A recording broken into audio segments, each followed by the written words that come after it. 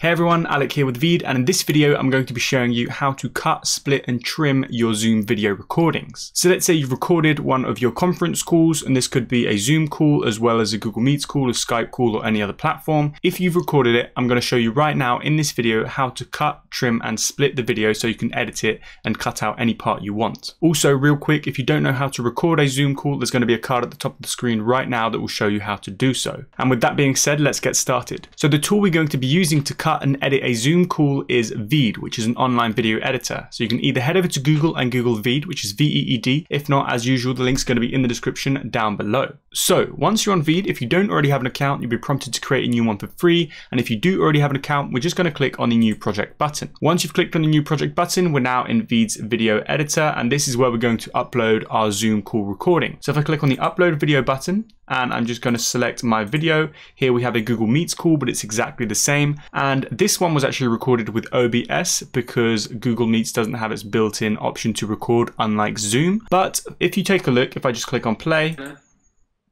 Good, good. I mean, nothing new really.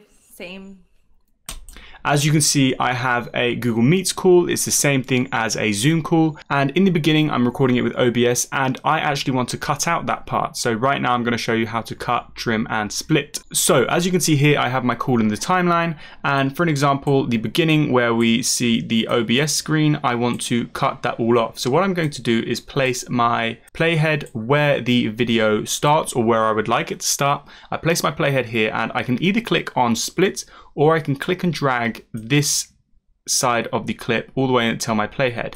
If I don't do that, if I just click on split, as you can see, it cuts it. I can then select the first half and delete it. And now I need to make sure that I just click and drag my clip back to the beginning of the timeline. Now, if I want to cut off the end, again, what I could do is drag it off if I want to cut out part of the middle, I select it and then I can just click split and then let's just say I want to cut it right here. I can click split again, and then I can delete the middle. I just need to make sure that I join the two pieces together, otherwise there'll be a blank period with no video. But if I bring it back together just like this, and now if I click play. Alex feedback pretty much on his channel. Are that you have or the next like as you can see, it's now being cut and split. And now on top of splitting and trimming your video, you can also do a bunch more things such as change the aspect ratio.